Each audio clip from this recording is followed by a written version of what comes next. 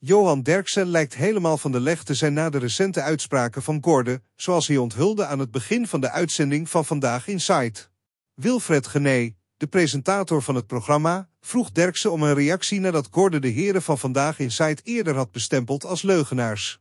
Gorde deed zijn controversiële uitspraken tijdens zijn optreden in Tijd voor Max, waar hij het onwaarschijnlijk laag bij de grond noemde dat hij vorige week werd uitgelachen in de SBS 6 talkshow.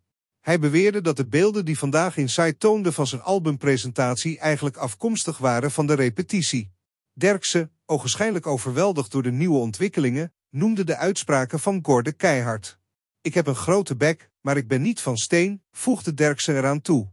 René van der Gijp deed een duit in het zakje door te beweren dat Albert Verlinde de meeste kritiek had geleverd op Gorde. Albert heeft hem afgemaakt. Ik zat alleen maar te lachen, voegde van der Gijp eraan toe, waarmee hij de complexiteit van de situatie benadrukte. Wilfred Gené deed ook zijn zegje, waarbij hij benadrukte dat de getoonde beelden niet afkomstig waren van repetities. De redactie had dit gecheckt en wilde dit duidelijk maken in het licht van de groeiende controverse rondom de uitspraken van Koorde. Het lijkt erop dat de spanningen tussen de betrokken partijen alleen maar toenemen en de media volgt gespannen de wendingen in dit intrigerende verhaal binnen de Nederlandse entertainmentwereld.